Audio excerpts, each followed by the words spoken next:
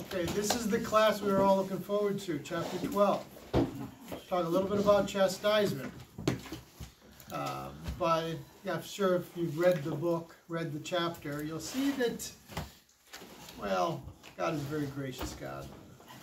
And He loves His kids. He's a good father. You know, that song, You're a Good, Good Father. Well, it's it's real. It's He really is a good father.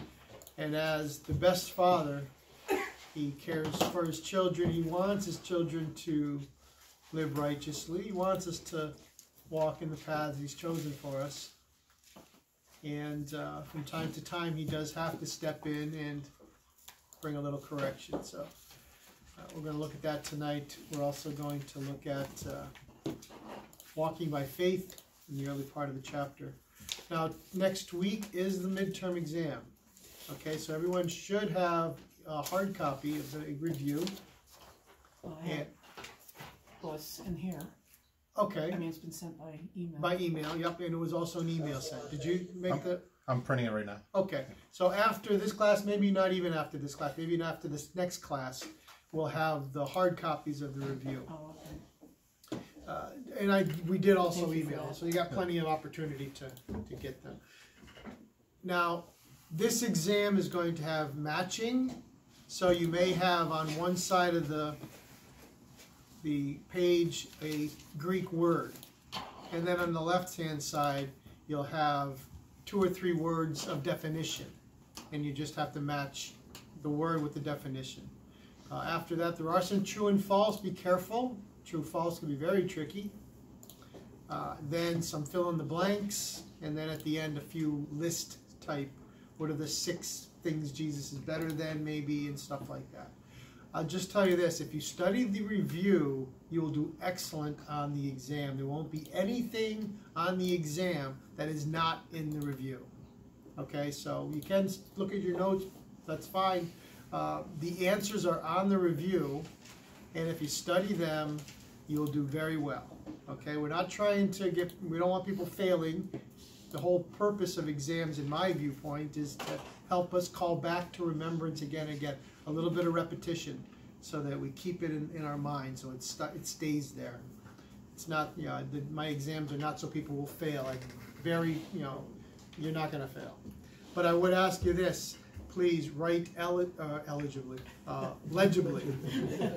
if I cannot read it, I cannot grade you. I cannot give you a good grade on it. Okay, I, I, I used to say this to the guys in Albania all the time because English is at least a second language. For mo- most of them, it's the third language. Uh, and I asked them, please write neatly. I'll give you grace for your answers, but if I can't read it, I can't do anything for you. So please, you may think you write well.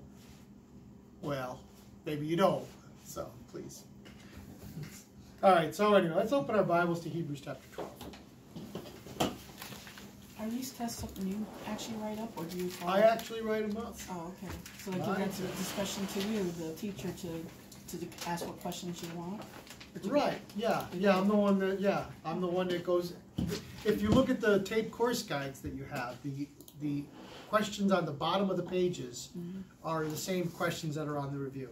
So if during the course of the course, you've been writing down answers as you've heard them, then you're a couple of steps ahead already.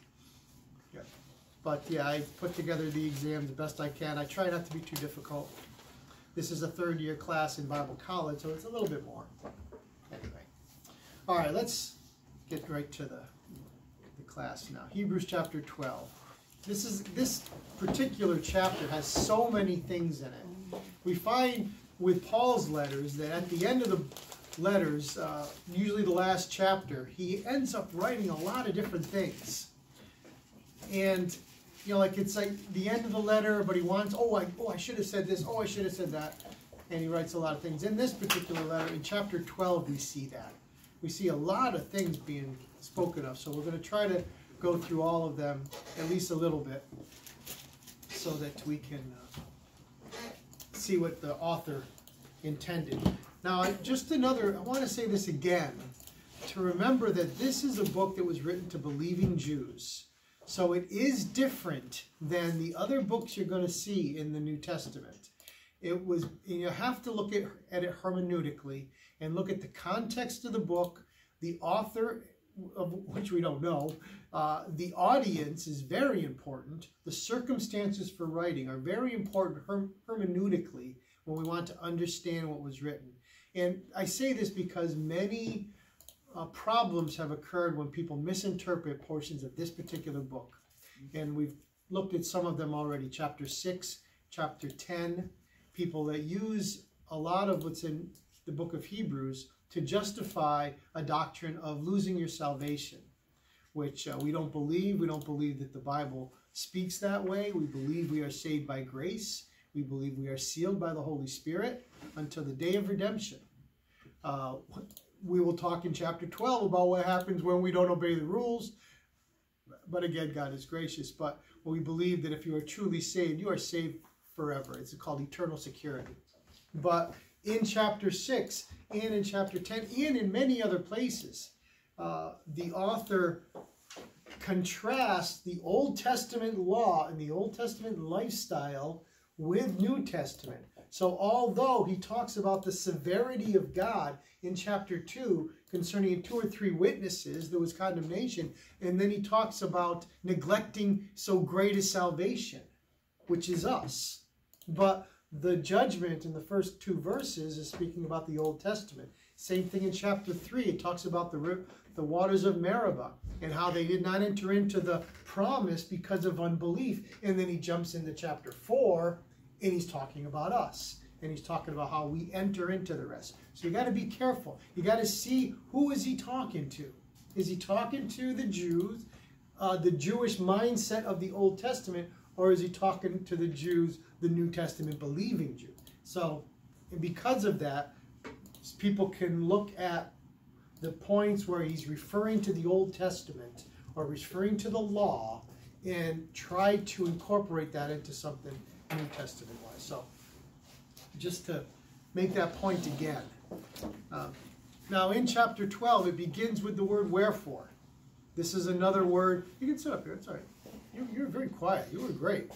Now, now, now I'm the one that's making the distraction. Um, I was looking for my big boy pants. I forgot them. oh, oh, yeah. I had to go back and get them. Yeah, good, good. I mentioned that last week. Um, why does it say wherefore? It says, wherefore, seeing we are compassed about with so great a cloud of witnesses. Now, last week in chapter 11, we talked about the heroes of faith. These are only Old Testament heroes. The New Testament and the church age is full of heroes. You know, and I, you know, I was privileged enough to stand in the in the room where uh, Jan Hus preached. I was privileged to stand in the same room that Martin Luther preached. I was privileged to stand in the same room that Pastor Stevens preached, and many others. Pastor, you know, I, I was thinking last, Sunday we did communion here, and I thought back of the different churches I've actually done communion with during the time of my uh, my time in Greater Grace in Budapest, in uh, in France, I think we did it in, in Montreal. We did it just recently, uh, of course, in Albania and other places, and just to, that communion of the saints that we celebrate the oneness that we have in the body and the blood of Christ. That is what keeps us all together. That is where the unity uh, is sourced. It's sourced in Christ. When we do this in remembrance of Him, everyone, every Christian on the face of the earth is doing it in remembrance of Him. That is the unity of the universal church, not just the local assembly, but the universal body of Christ. And someday we will all be meeting a lot of people that we've never met before, and we'll be able to spend eternity with saints of all over the world. And there are heroes, even now. I mean, I can even think of, and I, you know, I have a real place in my heart for the missionaries of Greater Grace World Outreach, and I think of Pastor Stefan and his uh, his ministry in Berlin, Germany, and uh, you know, and so many can go on and on of all the great men and women and missionaries uh, in Greater Grace alone, and plus, and then add on to that all of the other great missionaries of other missionary organizations and other churches that are faithful to send out people into the into the fields to reap a harvest. So this is what it's saying here. It says, whereby we also are compassed about with so great a cloud of witnesses That's not just the past, but it is the past. We can think of Abraham, and we can think of David, and we can think of Jonathan and his armor bearer, and these great men of faith and women of faith like Sarah and Esther and Ruth, and uh, marvel at that and and be encouraged by that. But we can also see Fatima going to Sierra Leone, and you know, and going out and doing great work there. We can see Pastor Borowski, who spent years in uh, Ukraine and in Budapest, and Pastor Handel also. And you can look at these men and women and really be encouraged by their faith and be and be exhorted. Pastor Stevens used to talk about faith fields, and you know it's just you know it wasn't a weird, it wasn't a pseudo Christian spirituality or some kind of hyper thing. It was it was just the the concept of building up each other. That the faith of one is is an encouragement and a help for the faith of another. That by their faith, I can look at Pastor Schaller or Pastor Moore and these guys who are up in Plattsburgh University, you know, quit their college, went to Bible college, and became pastors and missionaries. And I can look at them and I can be encouraged, and my faith can be strengthened because I watch them. And we'll see that in Hebrews chapter 13 when it talks about those who have the rule over you, spiritually speaking, the pastors and the elders and those people. It says their faith follow. Paul says in 1 Corinthians 11 1, and we'll look at it again. He says, Follow me as I follow Christ. And look at what happened with, what did, uh, in fact, let's, uh, 1 Samuel chapter 14. Maybe you're not familiar with this story. Hopefully you are, but uh, the story of Jonathan and his armor bearer. Jonathan decides he wants to go against the Philistines. And he says in verse 6 here, And Jonathan said to the young man that bare his armor, Come on, let us go over unto the garrison of these uncircumcised. It may be that the Lord will work for us, for there's no restraint to the Lord to save by many or by few. That's a great verse. There's no restraint. God can save through few and through many. But what does the armor bearer say? And his armor bearer said to him, Do all that is in your heart. Turn you. Behold, I am with you according to your heart. That's faith fields. That's this armor bearer saying, I am going to trust your faith. I don't have a lot of faith. If I had my, you know, if I were the one starting the conversation, I would not say something like that. I wouldn't say, let's go over and see if we can, us two people, basically you and me carrying your armor, are going to take on a garrison of Philistines. But he looked at Jonathan and saw his faith, and he said, Whatever you say, let's do it. And we can be built up, exhorted, encouraged, motivated by those around us, this great cloud of witnesses that we even have today. You know, we are in a very dark period in the world history. And God needs more people out there. Out there, you know, preaching the gospel, being a light in a dark place, and and see what happens. Not to say that we're going to have a huge revival in this world, but that's not really what it's all about. It's about one soul. So, Man. so we have so great a cloud of witnesses. Let us lay aside every weight and the sin that so easily besets us. And he has two things here. And we see this a lot in Hebrew poetry. There's a reason why it says weights and sins. It's not just saying, oh, everything. There is a def definite differentiation between those two words and weights in Matthew in Mark chapter 4 verses uh, 17 and 18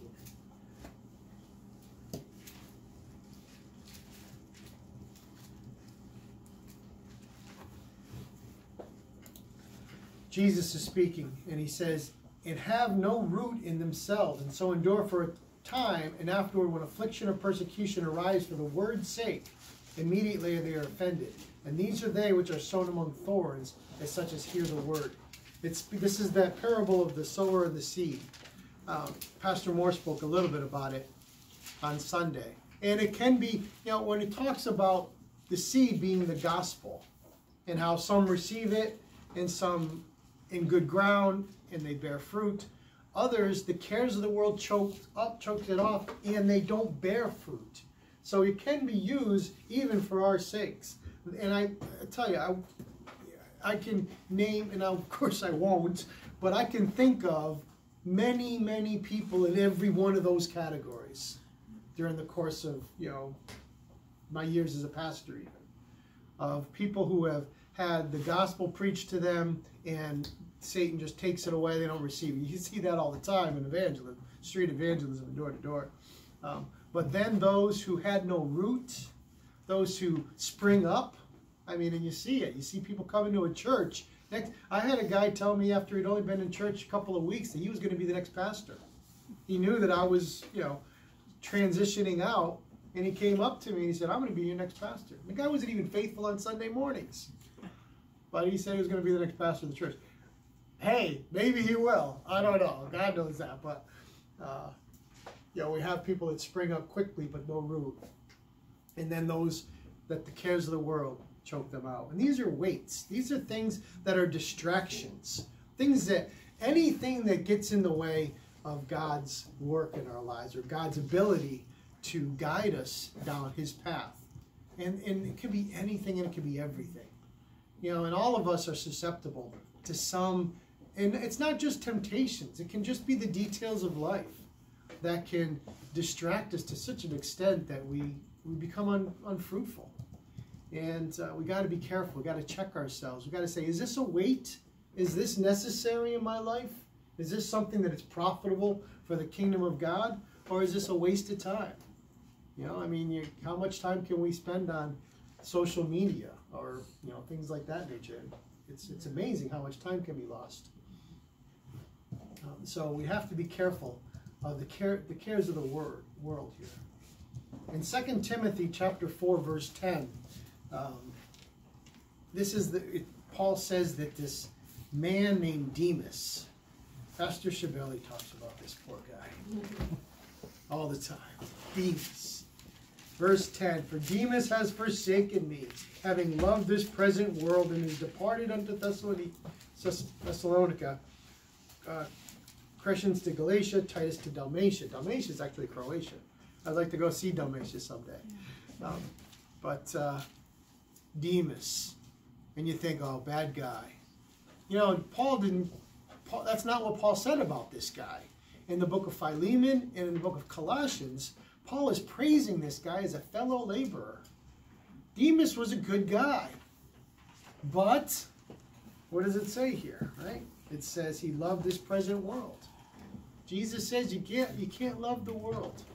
We are strangers and pilgrims. Remember we said that from the last class. Be careful because there is so much of this world to love. Satan is just loving to give you something to love here in the world. And it can be such a such a detriment to your to your walk. Not to say that, you know, because we do, we got to live in the world, and we can have fun in the world. We can go skiing in the world, and we can, you know, have we can have fun. We can even go to McDonald's if you so choose. I'm not, you know, McDonald's is not of Satan, and we're all going to die. You can die healthy or you can die happy. so, you know, there are we can enjoy the life God has given us, and we're supposed to have a life of the fullness of joy. He's asked, He's promised that He would give us uh, an abundant life in John chapter 10, verse 10. Uh, an abundant life doesn't mean the, the glories of this world, but it does mean a, a, a joyful life, a, joy, a life of uh, peace and joy in Christ. So there is definitely a balance, and God gives the blessings that we would not even expect as we focus on His righteousness. So poor Demas left Paul, loved the world, but you know he's in heaven. He's in heaven. He was a co fellow laborer. This is in Colossians 4.14 in Philemon 24. He speaks very highly of Demas.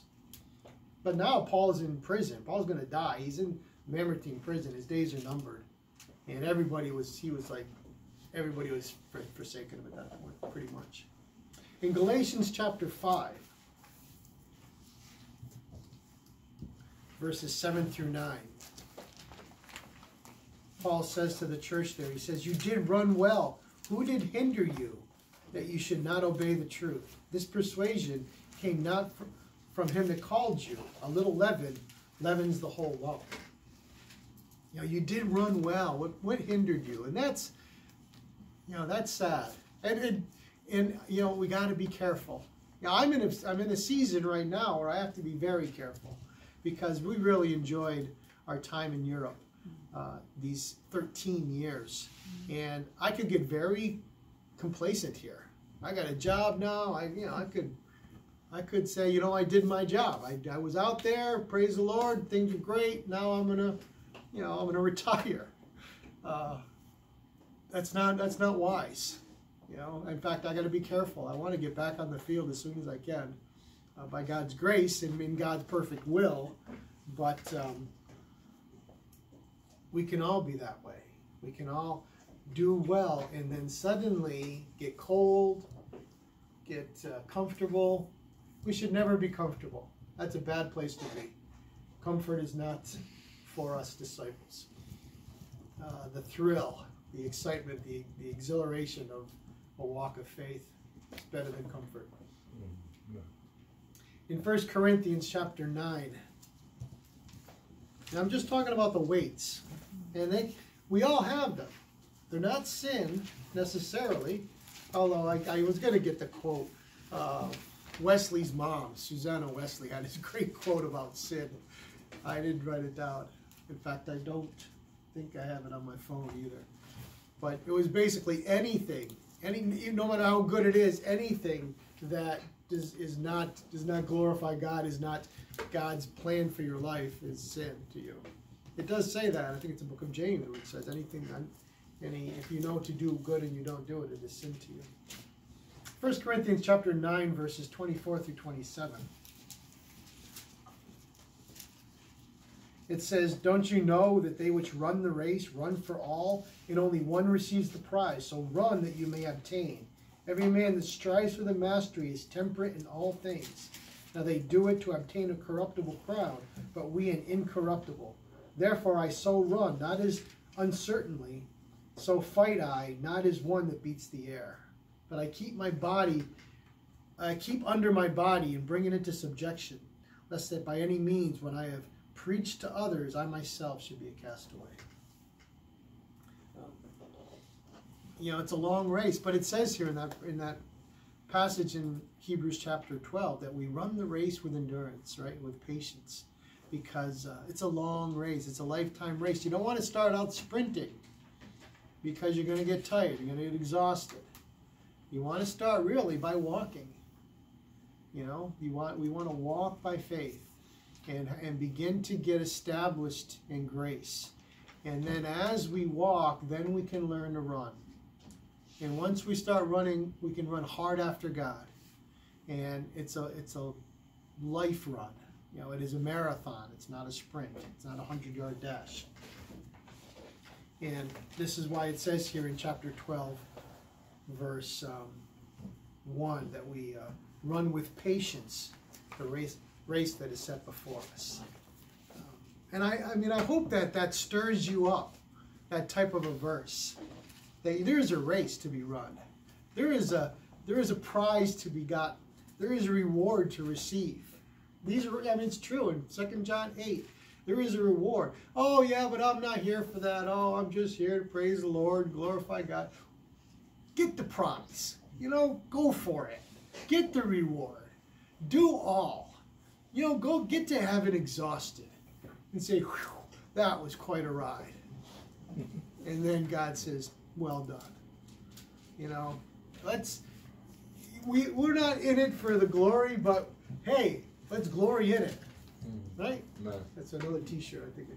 Not in it for the glory. Right, Let's glory in it. man. And sins. We're going to talk about sin. That's why Pat's in the first row. The sins that beset us. The sin. Now, in the Vulgate, the way this is translated is the sin standing around us. I like that. Because there's sin all around us. There's always sin standing around us. Satan is always giving us an opportunity to fall. Uh, he's always putting traps around and snares around. 1 Corinthians 10:13 says that uh, that no temptation, you know, that is befallen you is uncommon to, to man. It's all common to man. But God has given a way to escape. But we don't always find that way. In fact, sometimes we see the way to escape and we go the other way anyway. I mean, right? I mean, don't don't raise your hand, but you know it's true.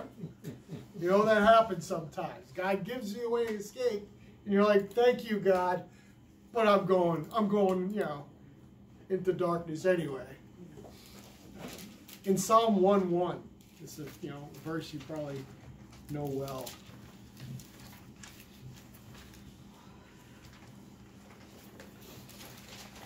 It says, Blessed is the man that walks not in the counsel of the ungodly, nor stands in the way of sinners, nor sits in the seat of the scornful. Um, because we've got a race to run, right? We don't want to be walking in the wrong counsel. We don't want to be standing out of the race, talking to sinners. And we don't certainly don't want to be sitting around. Scornful means mocking uh, or judging and, and just being critical, having a critical spirit. We don't want to be that. That sitting is not going to win a race. In fact, really, the only way that we lose the race God has set before us is by not running. That's how we lose. If we run, we win. And it doesn't matter how fast we are, how conditioned we are, how much of the Bible we know, really. It's just a matter: are we running, or are we walk, or are we sitting in the seat of the scornful? Have we turned aside? Are the weights and the sins in life, the sins that are all around us, and the weights of the details, are they hindering us that we won't run with Him? Are the cares of the world, or the deceitfulness of riches, or anything like that, are they choking out our ability to hear from God? We want to be careful. We want to lay aside every weight and the sin which so easily besets us. So easily besets us. I mean, that's powerful words. Let us run with patience the race that is set before us. And I'll tell you, being here tonight, being at the discipleship class on Sunday, being at church on Sunday mornings, you know, these are running with patience. Being part of the body of Christ, fellowshipping. This this weekend we've got a premier pastor coming to the to this church, Pastor John Love, and uh, I would recommend everybody you know be here to everything you possibly can, because it's a great man of God, and uh, his his messages are really phenomenal. Was he talking on Friday night and Saturday? He is he'll be here Friday night, yeah, for the first message. Oh, so how many messages? Oh, three. Three? Three. Friday, Saturday, Sunday morning. Oh, Right. Yeah, you know, that even Sunday morning. Now in verse two it says, "Looking unto Jesus, the author and finisher of our, finisher of our faith." Now the way the Greek uh, grammar says here, it's looking up and away unto Jesus. Now, when you're running a race, you don't look around. You don't want to look over your shoulder to see who's following you, how close the competition is, right? Because it slows you down. It, it takes you out of your equilibrium. And you don't want to do that. You want to be focused. I was always, when I was learning how to drive, you, you focus not on the road directly in front of you, but you look up, up the road a little ways, even to the horizon, and using your peripherals to see the whole road. Uh, when you're looking, when you're guiding a boat, you look to the horizon for a point that is steadfast that you go towards, so that if there's a current, you can make sure you stay the right course. So with our walk of faith, that says here to look up and away, up from the the horizontal, the things of this world, but look up to Christ and away, and always stay focused on Him as we run. He is the author and finisher. He is the source and completer of our faith.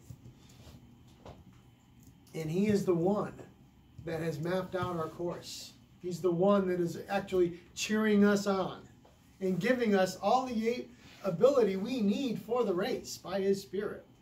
You know, the word dunamis means ability, and it's translated power in the in the Greek New Testament over and over again. So when you see the power of God, it's the ability of God.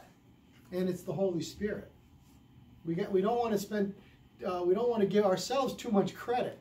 And you know, we need we shouldn't give ourselves any credit. We should just be thankful that he has called us into the ministry, as Paul says. You know, because he will enable us for exactly what he has for us. And then we know that we are the earthen vessel. He is the treasure within, and we get, and He is the one that's glorified, not us. We don't. Eh, that, that glory is a glory is a fleeting thing. You see it in entertainment. You know, all these award shows and these, you know, accolades that these singers and actors get. It's it's it's so fake. It's not real. That's not what we want. We don't want that kind of glory. No, we just want to be. You know, we just want to run hard after the one that loves us. We want to we want to find the lover of our soul and we want to run to him, as it says in Song of Songs. Right? That's that's what we want to do. In Philippians chapter 3, verse 14.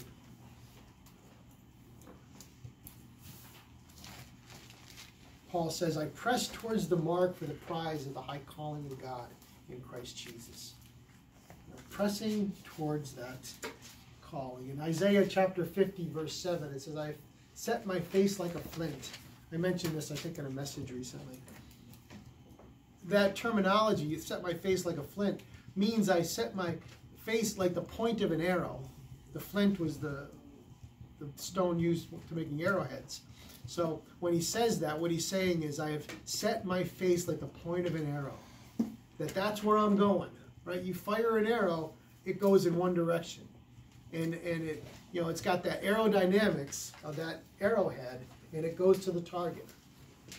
That's what we need to do. We need to set our face like a flint, really understanding the reality of our faith, right? In Hebrews 11, 1.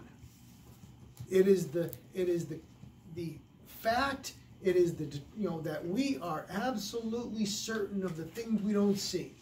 That we say as fact those things that our senses cannot understand or can can grab onto. But i believe it.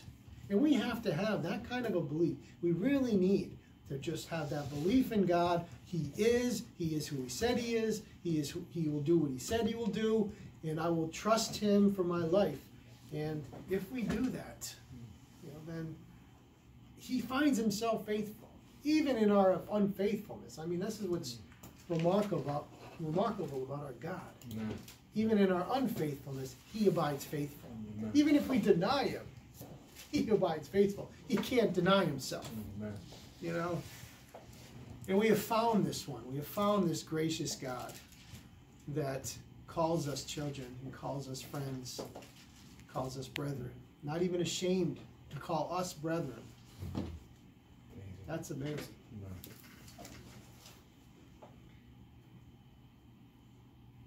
In Luke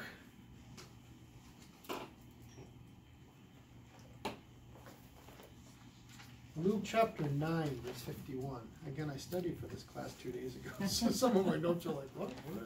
What, is Luke 9, 51?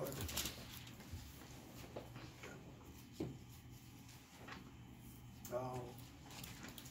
This is Jesus. And it came to pass when the time was come that he should be re received up, he steadfastly set his face to go to Jerusalem. Now, what did that mean? What was waiting for him in Jerusalem? Yeah, yeah crucifixion. But he said, you know what? That's it. That's the goal. That's the teleos. And then he would even use that that phraseology really in on the cross in John 19:30. It is finished, tetelestai, means paid in full, complete. The finished work, as we call it. Uh, he knew, I'm going to be crucified. And he didn't, you know, Peter would say, hey, don't do it, don't go. But uh, Jesus knew, that's what I'm here for, and that's what I'm doing. That word for looking up in the Greek is aphorao, A-P-H-O-R-A-O and it means to turn the eyes away from other things and fix them on something else. This is uh, A-P-H-O-R-A-O, looking up in a way unto Jesus, to turn the eyes away from other things and fix them on something else. And that's it. That's what we do. Um,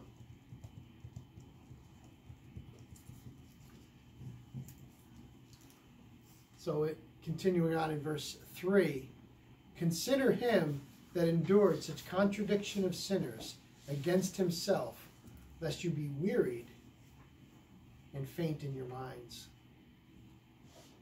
Now, just I just want to backtrack a little bit. I don't know why I didn't put more on here for verse two, which says, "For the joy that was set before him endured the cross, despising the shame, and is set down at the right hand of the throne on God, throne of God." The joy that was set before him. Of course, it was the redemption of our souls. We are the joy that was set before him. But there is also a joy set before us as we walk by faith. And we don't know our end.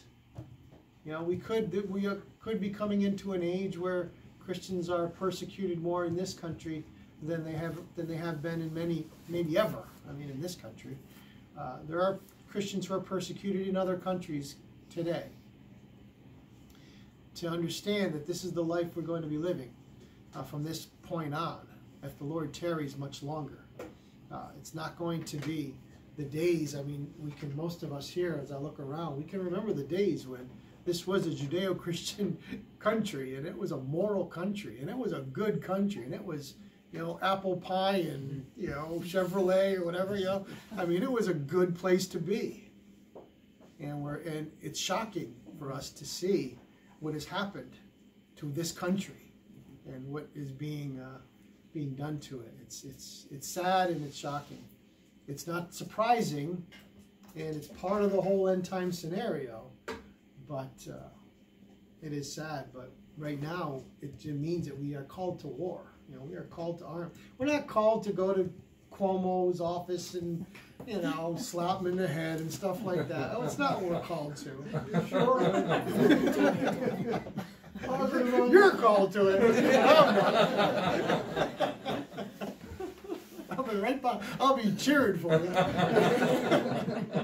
I know hearing more church pastors speak up and speak to them.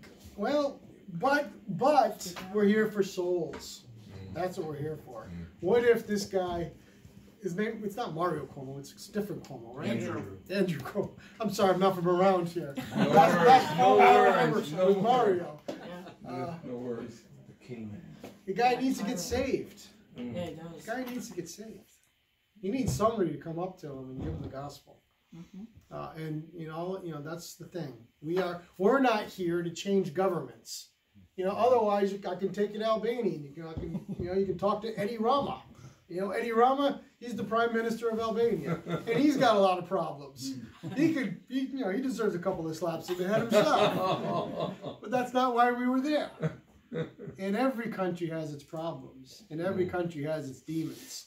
And the world system is controlled by Satan. We are here to be the light unto a dark age and dark world. We are the ones to preach the gospel to the people that are opposing themselves and opposing Christ. That's what we're supposed to do. We are the fishers of men, like Pastor Moore was saying Sunday morning. So be careful. We don't want to. We don't want to be throwing stuff at the television every night. You know, we just we want to be out there on a Saturday afternoon and doing some evangelism or whatever, or talking to the people in the grocery stores and neighbors, and let them know that there is a Savior and that they need Him. So, um, the joy set before Him was us. The joy set before us is Him. You know, we are we are now His laborers. We are His workmen. Uh, in 1 Corinthians three, and uh, let's joy in that. Let's joy in that labor of love, and uh, bringing the gospel, and see what happens. Do it with joy, um, and uh, and know that it's all going to end well for us. Right? It's going to end very well for us. I don't know how it's going to end for us on this lifetime, but eternity looks pretty good. Yeah. And our names are written in that book. Mm. So, you know, let's just finish out this course by faith, because up there, there's not going to be any need for that faith stuff. They're not going to be preaching faith in heaven, because we are going to see Him with our eyes. We will see Him. Our Redeemer lives. And we will see him. It says that Jesus endured the cross. Um, and then in verse 3, it says that he endured the contradiction of sinners. The word endured is hupomeno, H U P O M E N O, and it means to remain under. It, it, mean, it really, sometimes it's uh, translated patience, to stay under in a trial. You be patient. Um, he remained under, he took the cross and everything it meant. It meant the public humiliation. It meant the beating and the scourging and the pain and the suffering. It meant death on that cross. He took everything, he endured everything. In Philippians chapter uh, 2, verses um, 5 through 7, I believe it is, the self emptying of Christ, that Christ would um, be our sacrifice. And then he endured the sinners, the contradiction of sinners against himself. And he says here, don't be weary and faint in your minds. And, you know, we will have the contradiction of sinners. I mean, what happens when you say you're a Christian today? It's not the same as it was if you said you were a Christian in 1970. Right? They say that if you have a panel, a panel discussion on a television show, and you have a professor, and you have a doctor, and you have a pastor, the pastor will be the least believed because it will consider him the most intolerant. He will be the one that will not speak well, intelligently, he will just speak dogmatically about his belief systems.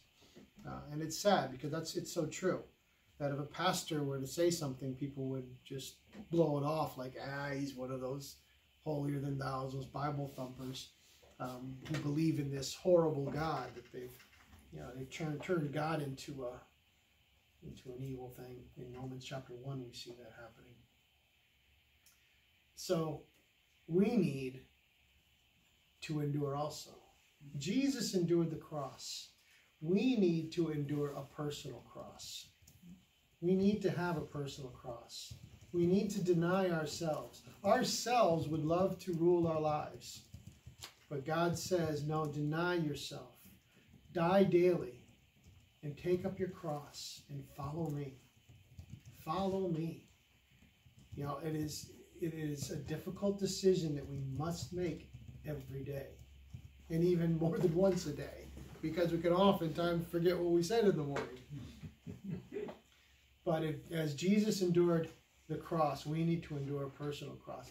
Another thing we see here, when it talks about the contradiction of sinners, that word for contradiction is antilogia, A N T I L O G I A. And for those, for those Greek scholars in the room, you know what that means against the word.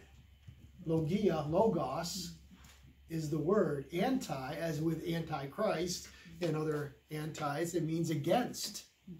Uh, against the word, the contradiction of sinners against the word. And I, I mean, in evangelism, you see this all the time. You see them coming against the word. And Jesus took that on himself. And I mean, can you imagine this? The word, right? In the beginning was the Word, Jesus, the Logos. And they are they are coming against him and against the Word, against everything he is.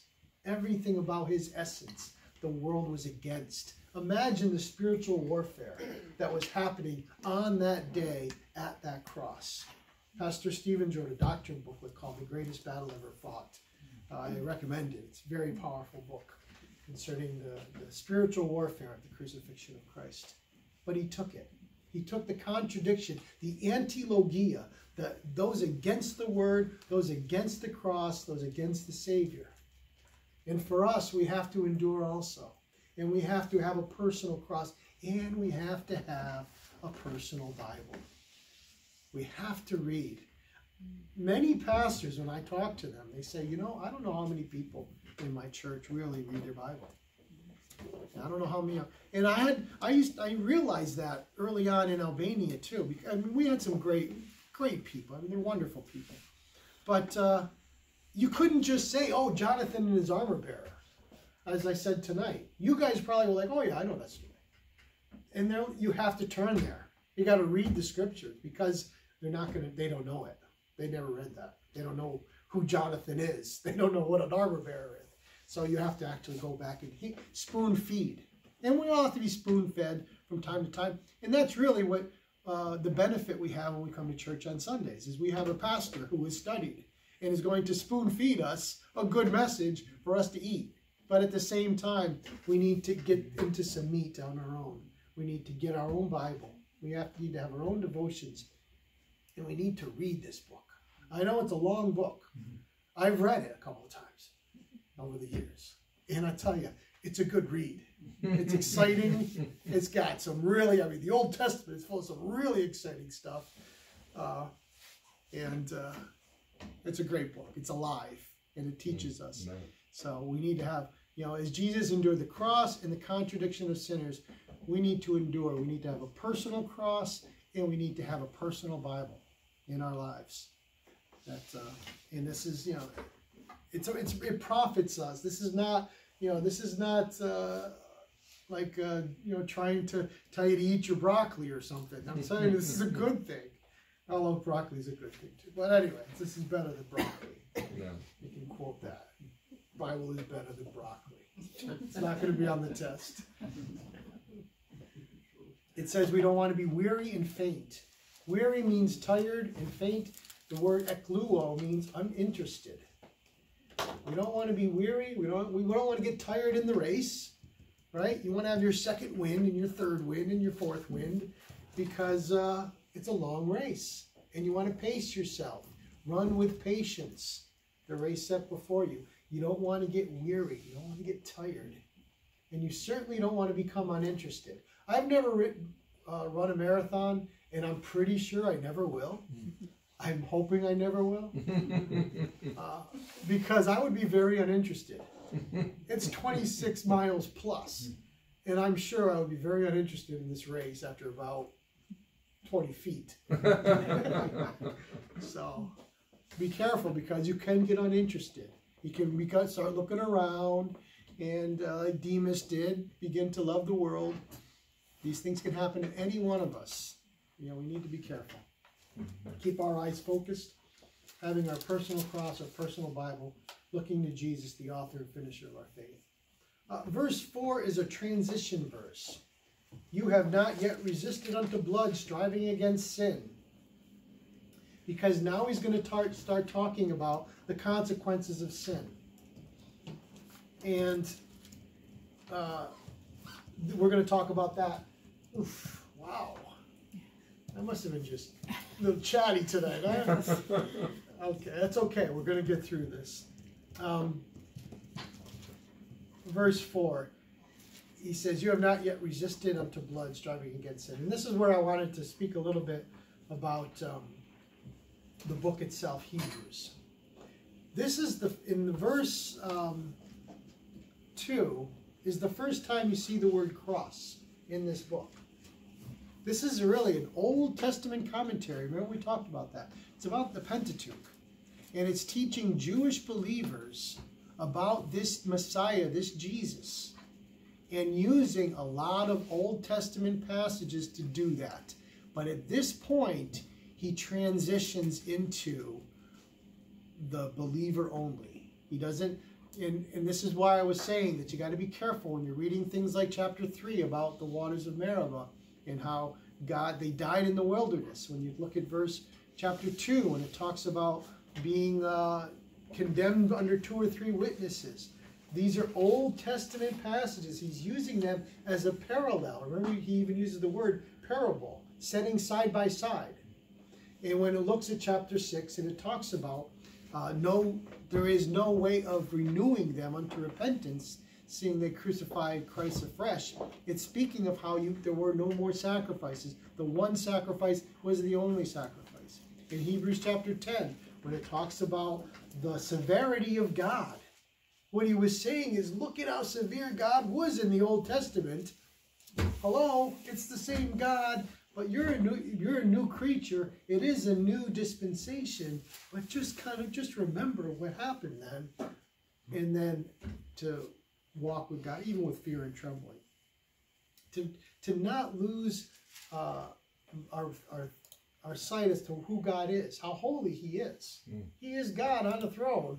He is not to be mocked. He's not to be played with. He is not to be ignored or, or thought of as a small thing. He is God, and He always will be. So, here He's saying now, you have not resisted unto blood, striving against sin. And now He's going to talk about sin. And um, I'm going to see as far as I can get on this. Maybe we can get it all the way through, but we'll see. Um, verse 5, he says, But and you have forgotten the exhortation which speaks unto you as unto children, my son, despise not the chastening of the Lord, nor faint when you are rebuked of him. You know, it is a good thing to be rebuked by God. You know, it is a profitable thing for us, for God to say, hey, that's wrong. Let's, you know, let's not go that way. Let's go this way. You know, people, you know, there are so those who, who uh, respond well to uh, negative reinforcement. Not everybody does. Most people don't. But, uh, and God isn't that way really so much, but to be rebuked, can you receive rebuke? You know, when you think of people who leave churches, oftentimes, you know, it's because they didn't like what they heard from the pulpit. And it's not, you know, and we're going to talk about this in chapter 13. A couple of times it talks about those who have rule over you. In fact, three times it says, talks about those who have rule over you. And it's talking about spiritual leaders, it's talking about pastors. Um, you love the grace message. You love the happy messages. You finished work messages. You are you are wonderful. You are complete in Christ. And these are real. These are true. Absolutely. But there are going to come times when pastor's got to open his Bible. He's got to turn to Hebrews 12, or he's got to turn to a passage, and he's got to say, "Okay, ladies and gentlemen, we're going to get you know we're going to get very clear on some issues here, and why it's for our benefit, right? We got to know the the good from the evil." We got to know how to separate these things. We got to be encouraged in a holy walk because God is holy. And so people leave churches because they don't want to hear the hard message. They don't want to hear the tough messages. Uh, that's unfortunate. We have to be willing to take, you know, what did it say? Uh, the Proverbs about, uh, is that where it talks about sparing the rod? Well, child. I don't know if that's in Proverbs or not. I mean, maybe Captain Kangaroo will say that. Probably is not.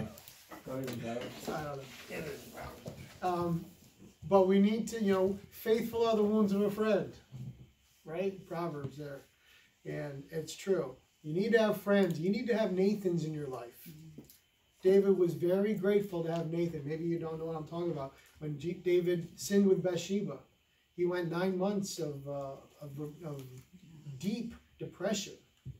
And uh, Nathan came to him and he, you know, he gave, told him this story. And then Da- and Nathan said, You're the man. You're the one that took another man's wife and uh, rebuked him soundly. And he was restored through it. Were you going to say something? I think a wise man loves rebuke, but a fool despises it. Yep. Yep. Yeah. Yeah. Become, you know, learn to love the correction of the Lord and thank Him for it. And that brings us to how uh, the steps of God's chastening. Ephesians chapter 6, verse 4. It talks about uh, instructing children in the nurture and admonition of the Lord. This word for chastening in the Greek, the word is paideuo. I have a whiteboard. I might read it. Deo. Deo.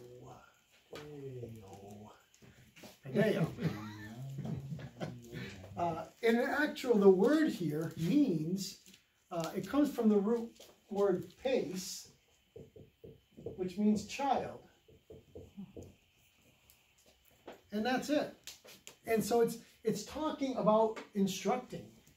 And you know, many of us here are parents. We know how it works, right?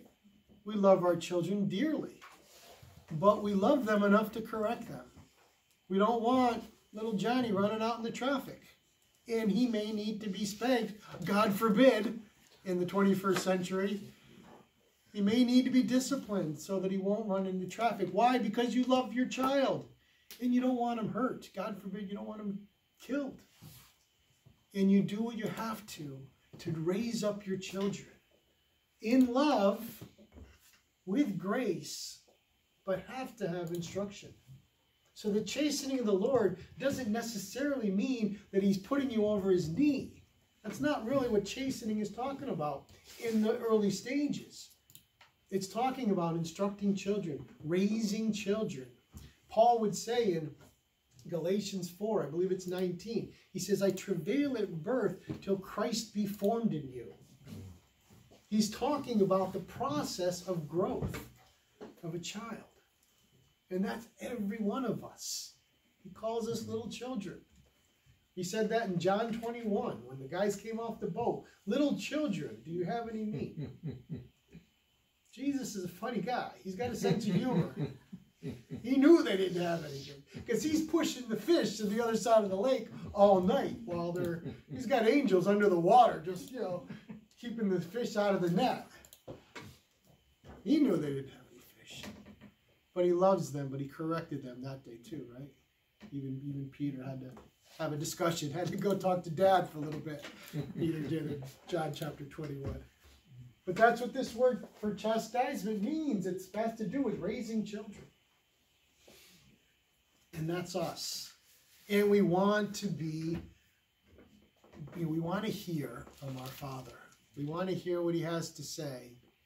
And we want to respond to Him. The first step in God's chastening is grace. That's it. It's grace. And if we will hear from God and receive the grace for the situation, everything else is fine. Titus chapter 2, verses 11 and 12 speaks on this.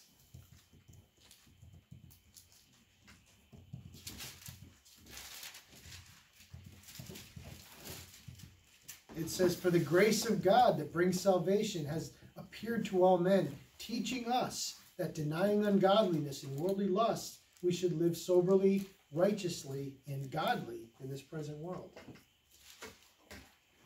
Um, it's grace. He gives us grace. The Holy Spirit is always speaking to us. We have to hear from Him through the Word of God, through the pulpit, through our prayer life, through our meditations. Hear the Holy Spirit's talking to us. It's not an audible voice. I've never had an audible, God's never spoken, this is my son. Well, please, you would never say that to me, but uh, he's I've never heard God speak to me audibly. It's not necessary. I hear him. I know what he's saying. I know his, his word. His word is truth. Um, but in Titus 2 11 and 12, he says that uh, his grace teaches us to deny ungodliness. In Romans 2 4, 2 4, it is the goodness of God that leads us to repentance. Leads us to repentance the goodness of God, the grace of God. Romans 5 20 and 21 says, Where sin abounds, grace does much more abound. And if we receive the grace, we stop the sin. You see? Receive the grace of God, receive the teaching of, of His grace, receive the goodness that leads us to repentance, and repent. It's so simple, isn't it? Mm, Wow. It's easy, God. Uh, we're gonna we're gonna stop here for a little while, only because I think the clock on the wall says eight o'clock. So we'll take a small break and we'll talk the rest of chapter twelve, and we will do chapter thirteen this evening. Okay?